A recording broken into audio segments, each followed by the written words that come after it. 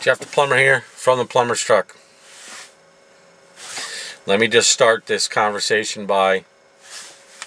Let me get serious. I'm going to talk politics. Most of the time, you know me, I don't talk pol- political stuff. So, I'm letting you know before I start this thing because I might offend or hurt someone by talking about my feelings, my personal feelings. We all got feelings. So I'm going to talk about my feelings when it comes to social politics stuff right now. So if you don't want to watch it and you don't want to be hurt, turn this video off right now before I start. Okay? All right. So, let me start. I was attacked twice, well, maybe a little more than twice last week, but more than two times last week for my own views which someone construed into a certain classification of political view.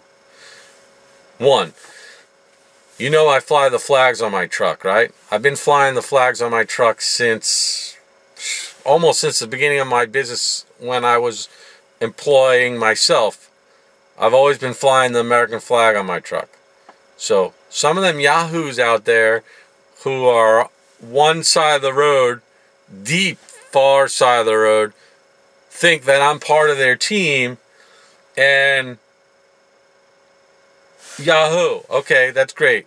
We're flying the American flag maybe for different reasons, but that's okay because we're flying the American flag. But then there are those other people out there who hate the people who fly the American flag because of those yahoos who are out there doing things that are not proper. So, I had to take the flags off my truck because I didn't want to be looped into that group of yahoos. I fly the American flag because I'm damn proud to be an American. I'm damn proud of my country where we could be free to say or do whatever we want, like I'm doing right now. That's why I fly my flag, because I'm proud that I am an American. Sometimes I'm ashamed at the things us Americans do, but I'm also proud that we're able to do those things because that's what makes America great. So, in that, on the social media and the other stuff, I got some comments, privately messaged and stuff about things that they think that I'm part of that group. Now, I keep saying that, part of that group. I'm talking about the group of people who stormed the Capitol, acting like yahoos, doing hate, and spitting things that. What those people did in the Capitol this last week is an act of terrorism.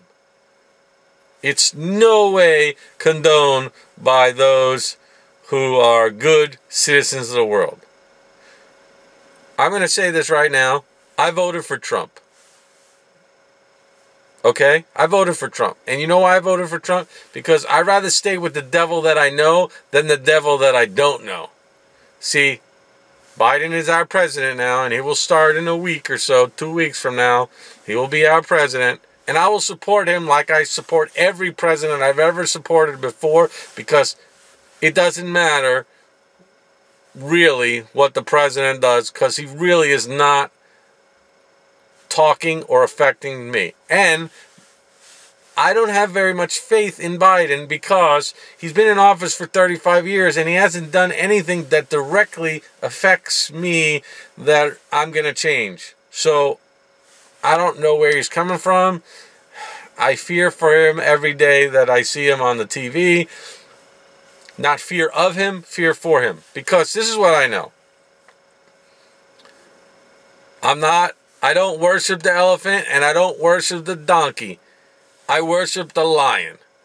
And if you believe in my Lord Jesus Christ, you know exactly what I'm talking about. So all that other stuff doesn't really matter. Because the lion is the most important animal in my jungle, so to speak. Jeff the plumber from the plumber's truck saying, How about we just start living by the word unity? Unity. You know what it means, right? You know where I'm coming from.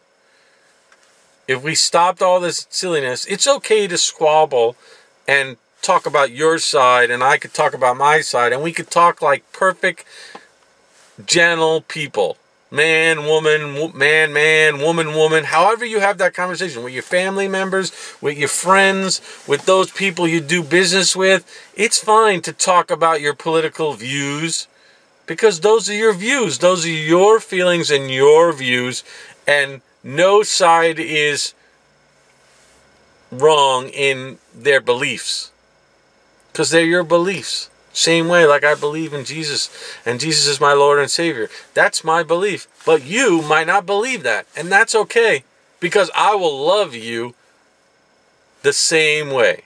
My viewpoint on the way you believe will not change because I am a servant and I will serve you the way I've always served.